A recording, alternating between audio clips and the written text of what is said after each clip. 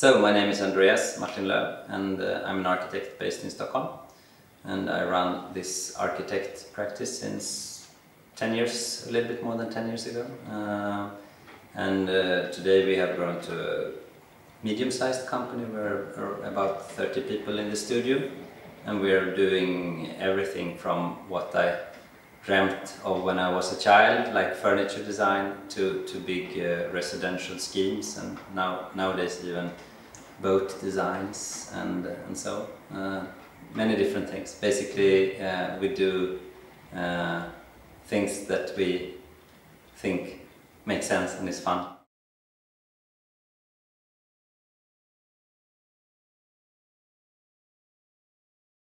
I have always been very dedicated to, to, to architecture and design and uh, when you meet people and you have that kind of uh, then pe when people feel that you are dedicated to what you do then it gets uh, then people get interested to work with you. And so it's uh, I think the, the success is partly that dedication and of course also after a while that, that we show that we also can deliver projects. Uh, uh, this studio is very special because almost all the projects we take on also uh, uh, are realized in a building, in a product or, or in, a, in a design. Uh, that's a little bit different from many, many design studios that work a lot on competitions and proposals that sometimes never are uh, realized, uh, but we are working um, quite hands-on and uh, often with reality. Mm -hmm.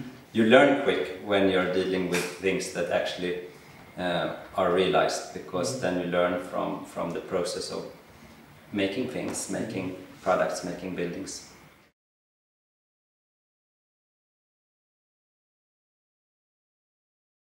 I started very small, like uh, a friend came and asked, can you do my kitchen?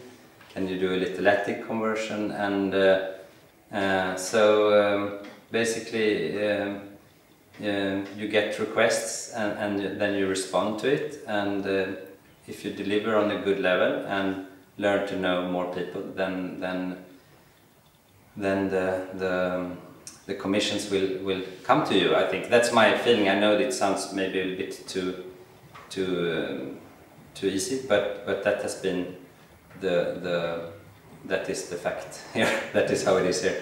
So uh, I've not made so much um, kind of promotion, uh, it's more that I answer the phone uh, when people call and ask if you want to do things. So for example, the, the why I uh, started a, a, section of the studio only working with luxury residential was because I learned to know developers within that field. And later on I got this uh, request if I could do modular housing. And uh, first we actually said no because we were so busy but then I, I woke up uh, that night after saying no and felt like oh this was not the right decision. And I called them back next day and said let's let's try to do modular housing. Uh, and then uh, later on it became one of the biggest part um, biggest uh, kind of it's it was maybe that thing that made us a little bit more well known outside Sweden. And, and also it has contributed a lot to the growth of the office to, to not only do one thing but to do many things.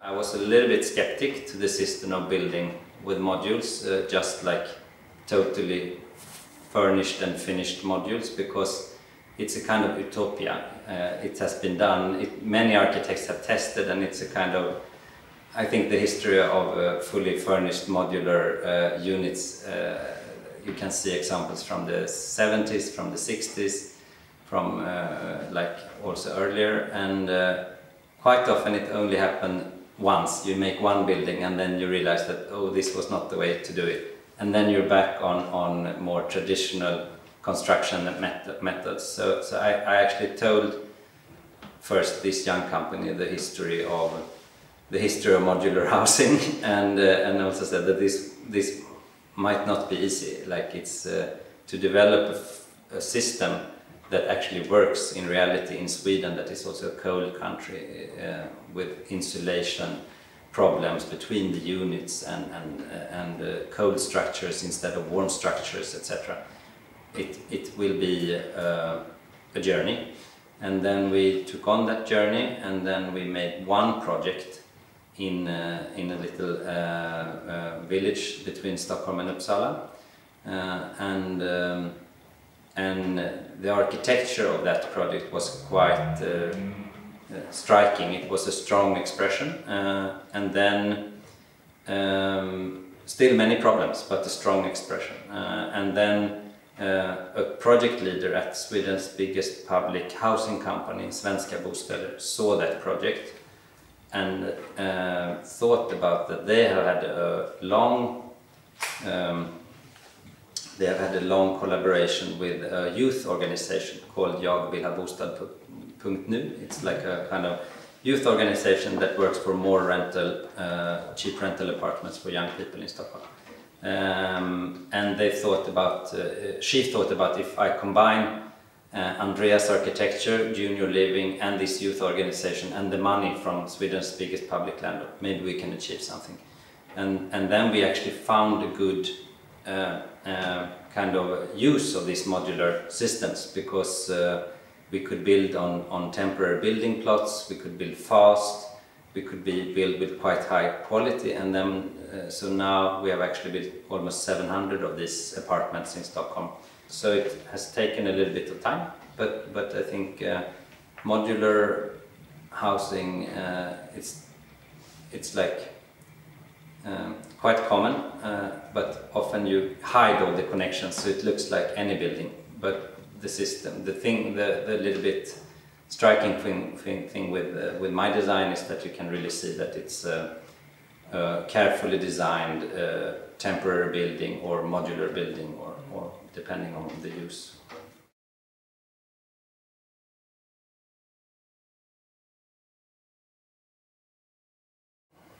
I think um, like I'm kind of past the, the period of my life when I worked too much. Uh, so uh, uh, one kind of uh, uh, thing I thought about when I moved closer to my work again, like now living in the same building as the office, uh, was that I need to be able to to to associate work with with good good everyday feelings, like not feeling the stress or overwork, and. Um, so and I think I quite succeeded with that. Uh, and then, then I don't associate work with bad things. I associate it with fun things. Uh, it's still an uh, intense situation, of course, running a big architect office, uh, but uh, uh, but it's manageable. And then, then I think it's a lot of benefits of being in the same building. Also, for example, you can start uh, start in the morning with a t-shirt in a Teams conference and then uh, realize that after lunch you have to, to, to have something else, wear something else and go to a meeting and then that, that is fixed in two minutes and and now when I also have my dog I can feed the dog between the meetings and so it's mm, actually a quite uh, nice solution. And it's the, the interesting thing is that uh, so many people are questioning it, especially Swedes, I think, and it might have to do with that we were actually, uh, you know, in, in the 1950s we developed a thing called ABC cities, like uh, uh, work, uh, uh, center and living in the same, you do you work somewhere and then you take the subway to somewhere else and then you go shopping here, you know, the modernistic idea of, of life. And actually I just follow the, the much much older uh, idea of, of the medieval city or something where, where if you're if you're making shoes you're living a, a lot uh, on top of your shoemaking place. If you're a baker you live on top of your oven whatever. Uh, and actually people have lived like that for thousands and thousands of years and it's much more logical than, than the modernistic uh, separation of, of things so, so I don't care so much actually. I just try to make the best out of the situation.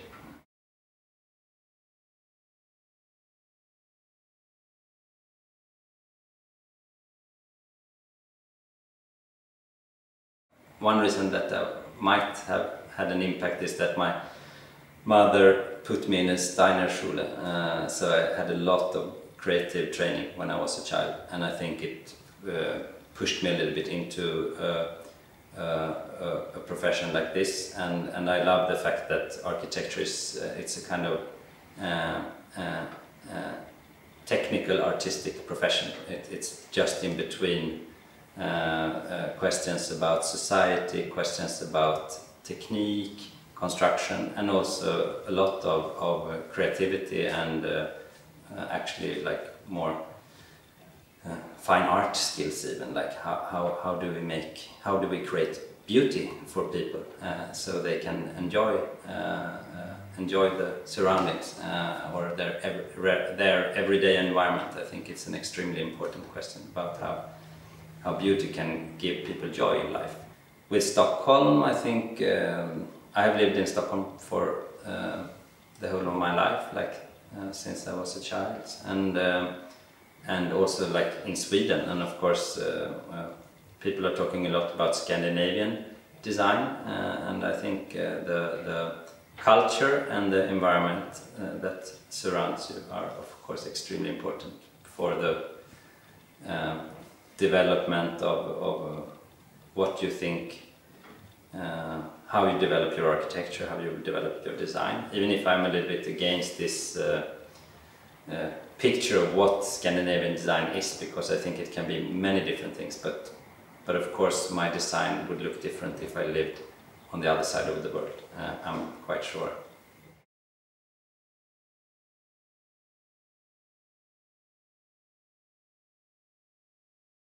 So I started thinking about building my own house and I was really thinking about uh, making it uh, my own place for uh, enjoying small vacations, etc. Uh, a, a, little retreat outside the city, and I was never uh, I was never aware of that it would create so much attention afterwards. Uh, uh but what I did there was that I I, I, think I also found during the construction of my summer house a little bit what my work method uh, is about because it's a lot of um, sampling and tweaking of details that were already in the old house and it also so I actually understood my method with renovating old buildings and, and kind of rather kind of bridge uh, between old and new rather than make a clear cut. It, I think this kind of um, silent conversation between what's old and, and what you add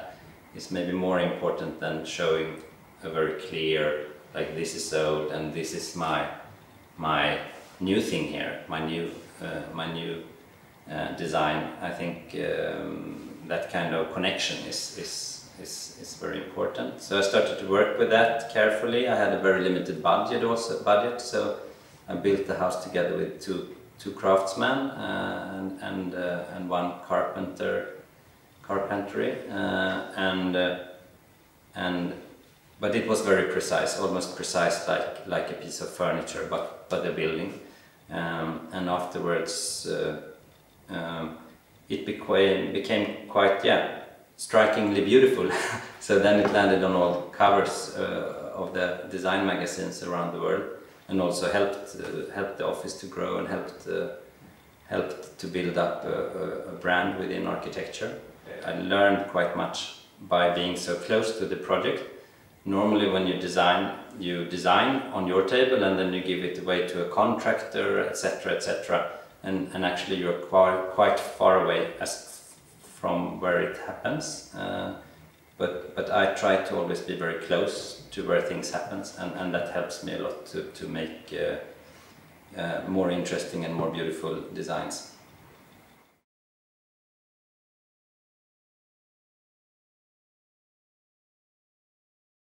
if it's something I, I, am working on uh, changing is, is where we have landed today uh, in, uh, in the kind of uh, in, within the construction industry. I think it's extremely, um, uh, for example, separated between design, uh, cost calculations and construction and then all of a sudden you end up in very standardized solutions uh, where, where uh, creativity is really cut on in every stage. I want to kind of re-establish uh, integrity into the field of construction. I think uh, we have so many hundreds of years of, of uh, different types of skilled manufacturing of buildings uh, and I can't see why it should be impossible today. Uh, but you can see many examples of that that that uh, architecture is at uh,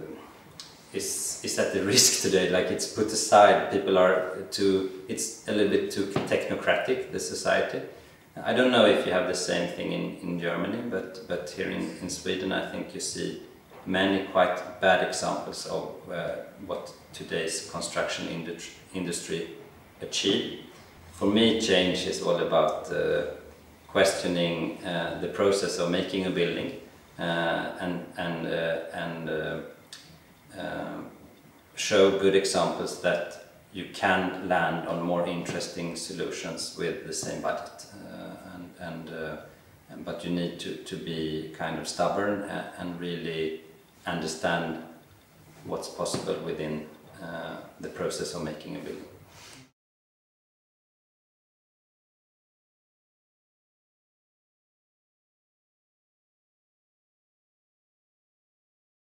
I don't really believe in dream projects. These questions, this quest question come up, comes up quite often.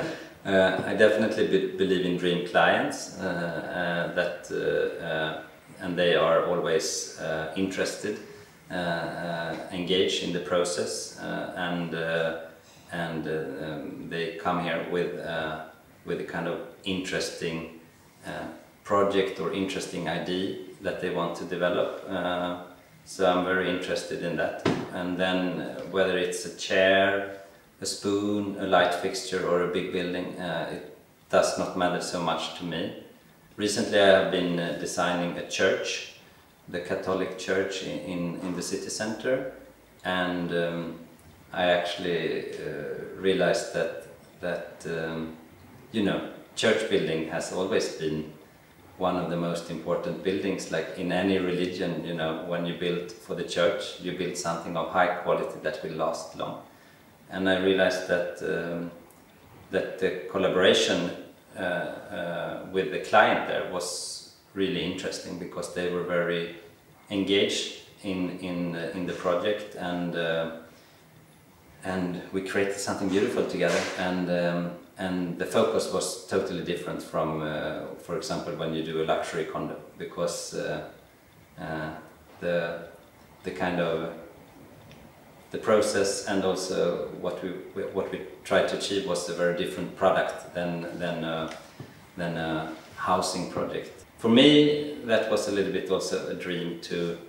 to step out of that field that I have been so involved in for 10, 15 years with, with residential projects and, and step into a totally different field where, where actually the kind of just uh, experience of space uh, was extremely important and, and the experience of, even experience of like a spiritual space uh, and that we could talk about that, okay, this is not good enough because it's not beautiful enough or it's not airy enough or, but meanwhile, when you talk uh, uh, about architecture with a developer, we would look at the costs and see, do we have something on the last line here? Uh, do we earn money? Can we sell this? You know, questions can be so different depending on the project. And of course, the more the project um, engage uh, with the kind of core of architecture, the more interesting it gets.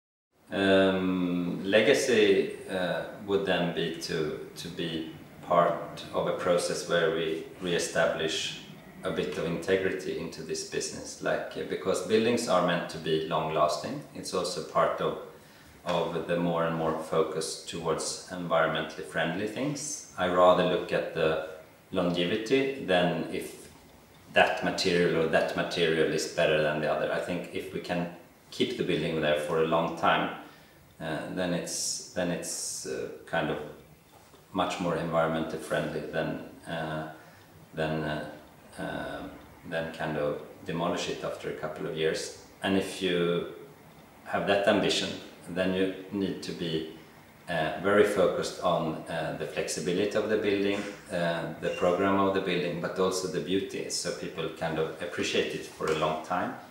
Uh, and not least the, the, the, craftsmanship when you make the building, that uh, you need to think about all the details, the hinges, the handles, uh, the eave details, the facade materials, the patina, how it ages. And um, all those things I think uh, uh, uh, is put, it's like many of those questions is a little bit put aside today by, by very um, kind of standardized schemes where, where, where uh, developers want to only earn as much money as possible, like risk capital. Uh, you can see that that uh, the whole business of construction and architecture is sometimes um, um, um, it's too close to just uh, normal business. But uh, when you build buildings, it has to be also heart and and and, uh, and, and good thoughts put into the process. That does not only have to do with the economy, uh, that also has to do with other things. So I think um, to to if I can contribute with a little bit uh, it doesn't have to be much, but a few buildings over the uh, over over my lifetime that that uh, are good examples of that, then I would be happy. Okay.